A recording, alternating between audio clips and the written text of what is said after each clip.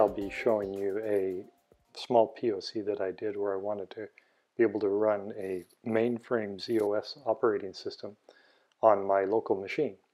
There's a VM called Hercules which allows you to do this on both a Mac and a Windows machine and a Linux machine.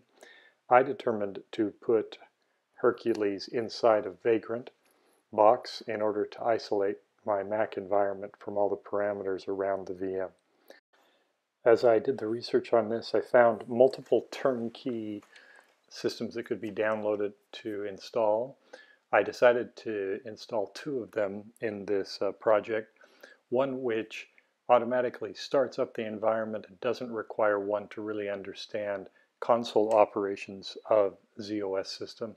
The other one is more uh, fundamental and requires you to understand the console operations of the system. We'll show both of those. The source code for this project is available in GitHub. You can replicate it from there. The, the link will be in the comment section of the video. Uh, you have to install Vagrant on your local machine before uh, beginning this video. These are some of the basic steps of installing Vagrant, but I'm not going to go over those. The first script that I'll show you is called uh, Simple MVS. To start a Vagrant environment, go to the directory that contains the Vagrant file and open a command prompt at that. And this is the Vagrant file commands that will be executed to set up the, the VM, the Linux VM within the uh, Vagrant system. So after you go to the command prompt, you type vagrant up and Vagrant will then begin to uh, download the box that's specified and start up the VM according to those parameters in the Vagrant file. Once the VM is started up, um, you'll be able to go inside the VM by typing vagrant SSH. If you've installed the VirtualBox guest additions with Vagrant, you can then see the same directory that your source code has been replicated to and you can go inside of the uh, source code and the scripts directory. The command to execute this simple MVS um, script is simply to type uh, bash space simple MVS sh and execute the script. The script is pretty simple as is shown here. It begins by updating the operating system, installing wget, uh, installing unzip, then downloading the package and uh, unzipping the package for the simple one, simply unzipping it to a directory. Then it executes a single command to start up the uh, setup process. The Hercules configuration in the simple MVS, when chosen in the simple MVS package, automatically begins the console operations and the console commands to completely start up the, uh, the ZOS, the MVS system in the uh, Hercules VM underneath Vagrant. So there's no need to really understand the console commands in order for this to start up. Once you get to this point, you need to open the uh, 3270 emulators which will allow you to log into the system and do things with the system. The configuration parameters for those are fairly simple as shown here.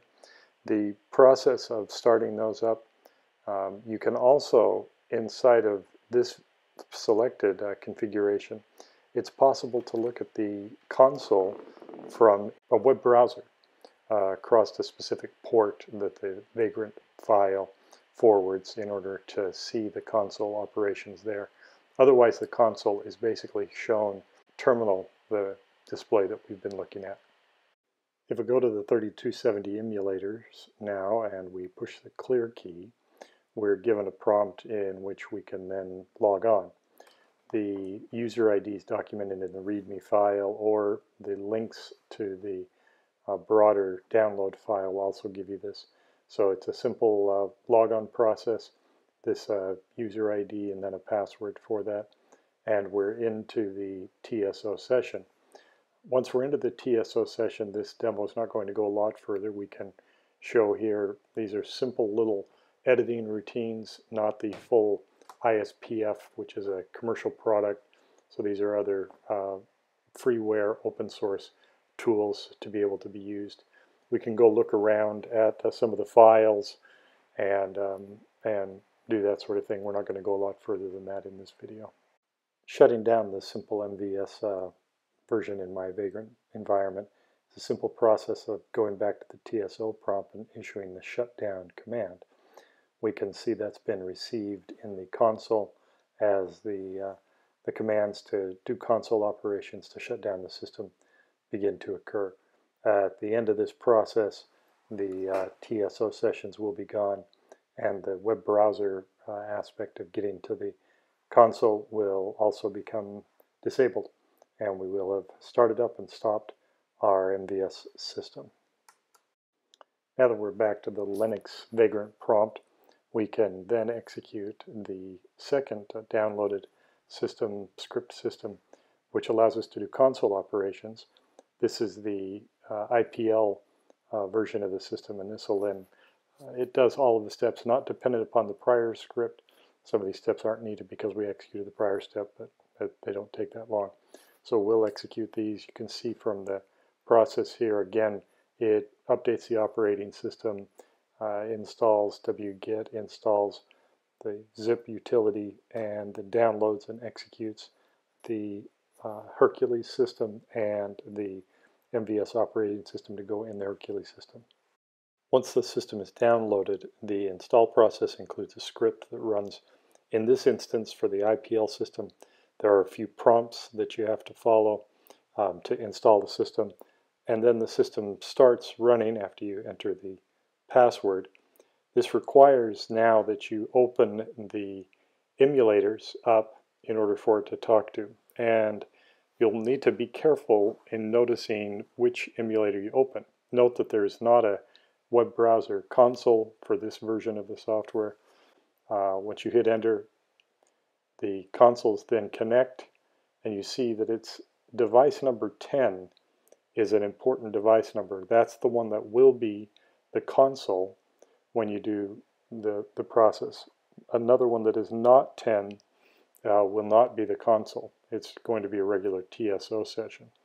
In order to get the system to boot, you have to type IPL148. Now in this instance, I'm not quite sure what happened here.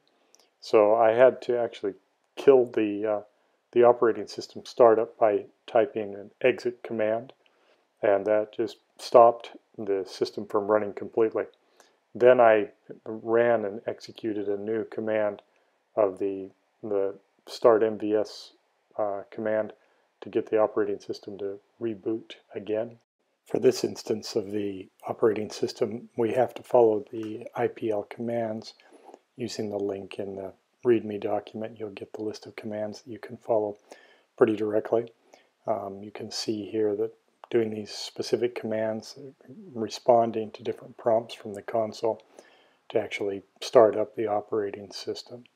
Um, now, as I did this, I mistyped one and uh, ran into kind of problems, and I'm not an expert in uh, the console commands. So it took a little while for me to get the system up and running. But through that process, you learn more about the console and uh, how the ZOS system starts up.